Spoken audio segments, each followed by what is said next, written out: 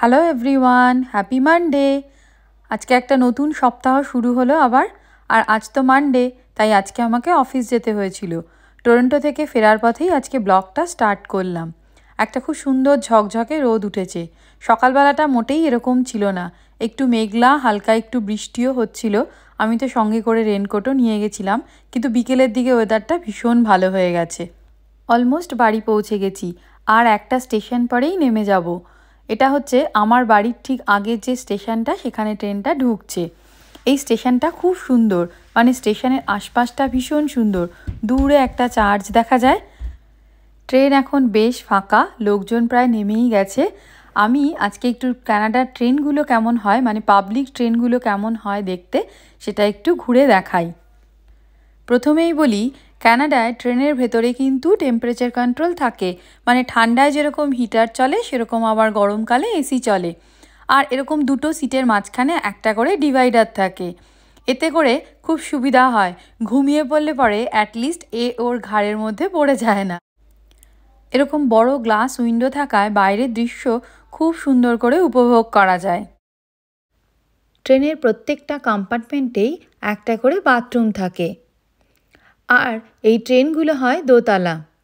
আমি বসেছিলাম নিচের তলায়। এবার একটু ঘুরে আসি ট্রেনের ওপর তলাতে। এরকম সিঁড়ি দিয়ে উঠতে হয় ওপর তলাতে। আর এই ওপরতলাটা একটা বিশেষ ব্যাপার আছে। সেটা হলো ট্রেনের মধ্যে এই উপরতলাতে বসে কোনোভাবেই কথা বলা যাবে না।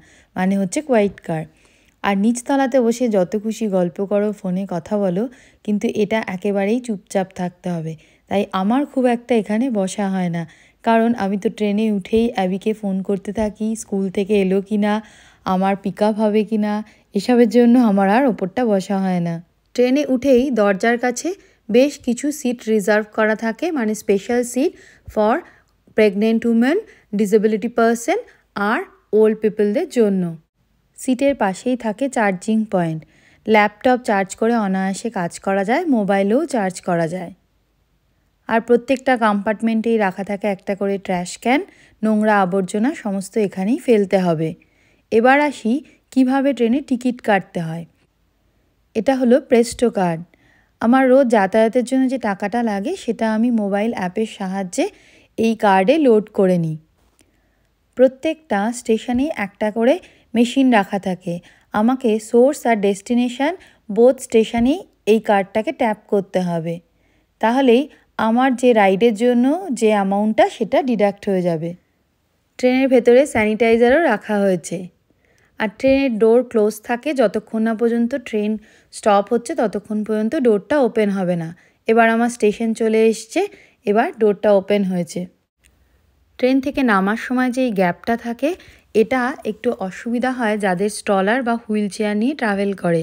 এর জন্য এই যে ইয়েলো বর্ডার লাইন দেওয়া যে এরিয়াটা আছে এখানে একটা পাত মতন পেতে দেয় একদম ডিরেক্টলি হুইল চেয়ার বা স্টলারগুলো ট্রেনে ঢুকে যায়। আর এর জন্য হেল্প করার জন্য লোক থাকে ট্রেনের ভেতরেই সব সময়। আমার স্টেশনে আমি পৌঁছে গেলাম আর ট্রেনটাও ছেড়ে দিল। আরে আমাকে দেখতে পাচ্ছি কি দেখাচ্ছিলি? দূর থেকে? তুই আমাকে? হ্যালো আবির সাথে দেখা হলো। গাড়িতে বসে পড়লাম। আজকে একটু ট্রেনটা লেট টু থ্রি মিনিটস মতন। দিয়ে খুব একটা নর্মালি লেট হয় না একদমই অন টাইম থাকে। আবি ছবি এঁকেছে। দিয়ে ওয়েট করতে পারিনি বাড়ি গিয়ে দেখানো অব্দি এখানেই নিয়ে চলে এসছে আমার কাছে। শরীর ঠিক আছে তো? একটু শরীরটা খারাপ মানে ঠান্ডাটা লেগেছে রানী নোজ হচ্ছে একটু। তাই তো? রানী নোজ হচ্ছে রানী নোজ হাঁচি হচ্ছে। আচ্ছা। বাড়ি চলে এসেছি। এসেই হচ্ছে প্রথম কাজ যেটা করেছি, চিংড়ি মাছ ফ্রিজ থেকে বের করেছি। করে একটু হালকা গরম জলে ভিজিয়ে রেখেছিলাম, এই যে চিংড়ি মাছ। এবার এটাকে রান্না করব। অ্যাকচুয়ালি আমি তো সানডেই মোটামুটি রান্না করে ফেলি মানে মানডে রাত্রেবেলা ডিনারটার জন্য সমস্ত কিছু। কিন্তু কালকে ডাল আর সবজিটা করে গেছি, কিন্তু ননভেজ কিছু আর করতে পারিনি। কালকে টায়ার্ড হয়ে গেছিলাম খুব আর কি। তো আজকে এসেই চিংড়ি মাছ তাড়াতাড়ি হয়ে যাবে। আর এই যে কোকোনাট মিল্ক আছে এটা দিয়ে একটু মালাইকারি করে নেব আর কি। এটা কোকোনাট মিল্কের একটা ক্যান অমিত একটু এটা ওপেন করে দিল। ঝটপট করে একটু মালাইকারি করে নিই। খুব তাড়াতাড়ি হয়ে যাবে। তারপরে ভাত খেয়ে নেব। চিংড়ি মাছের মালাইকারি রেডি হচ্ছে। অলমোস্ট হয়ে গেছে আর কি। এই যে ফুটছে। এটা হলেই হয়ে যাবে। যদি শনি রবিবার দিন গুছিয়ে প্ল্যান করে সবকিছু না করতে পারি, তাহলেই সবকিছুতে ডিলে কালকে যেরকম শনি রবিবার মানে এই উইকেন্ডে স্যাটারডে সানডে খুব একটিক গেছে। রান্না হয়নি। কারণ এই আজকের মানডে রান্নাটা করতে পারিনি, ব্যাস আজকে এখন রান্না করতে হচ্ছে, একটু তো লেট হয়েই যাচ্ছে, কিন্তু আমার খুব ইচ্ছে যে আবি কাছে তাড়াতাড়ি ঘুম পাড়িয়ে দেবো, ওর একটু ঠান্ডা লেগেছে, ওর রেস্টের দরকার, আর আমি যেহেতু মানডে অফিস যাই, সকালে ওকে অনেকটা সকালে ওকেও উঠতে হয় আর কি। তো দেরি হয়ে গেল, সাড়ে আটটা বেজেই গেল চিংড়ি মাছের মালাইকারি করতে করতে। আর কালকে মঙ্গলবার দিন দুপুরবেলা লাঞ্চে কি খাব, সেটাও জানি না আর কি। জানি না মানে করে উঠতে পারিনি, আর করব না, দেরি হয়ে গেছে। অ্যাবিকে সারাদিন তো অ্যাবির সাথে টাইম স্পেন্ড করিনি। তো ওকে নিয়ে একটু ঘুমানোর সময় একটু গল্প টল্প করতে হবে। এখন অব্দি কথা বলতে পারিনি ভালো করে অ্যাবির সাথে। তাই জন্য কালকের জন্য ভাবছি একটু ওই কুমড়োর ছক্কা বানিয়ে নেব দুপুরবেলাতে। ছোলা সেদ্ধ করেছিলাম, ফুচকা খাব বলে। সে আর ফুচকা খাওয়া হয়ে ওঠেনি, তো সেই ছোলাটা দিয়ে আর একটা কুমড়ো ছিল, ওই কুমড়োটাও কেটে রাখলাম। কালকে সকালবেলা অ্যাবির যখন লাঞ্চ বানাবো, তখনই কুমড়োর ছক্কা করে নেব। দিয়ে খেয়ে নেব ওটা দিয়ে দুপুরবেলা। তার অ্যাবির জন্য একটু চিকেন আছে ও কালকে দুপুরে চিকেন খেয়ে নেবে। এবার না মালাইকারিটা কোনো রকম রেডি হলেই খেতে বসে যাব। চিংড়ি মাছের মালাইকারি রেডি হয়েছে কিন্তু আরেকটু হতো মানে একটু বেশি ঝোল ঝোল রয়ে গেছে আমি বলছে জল। কিন্তু আর সময় নেই আর কি আমাদের। ঝটপট করে খেয়ে নেব।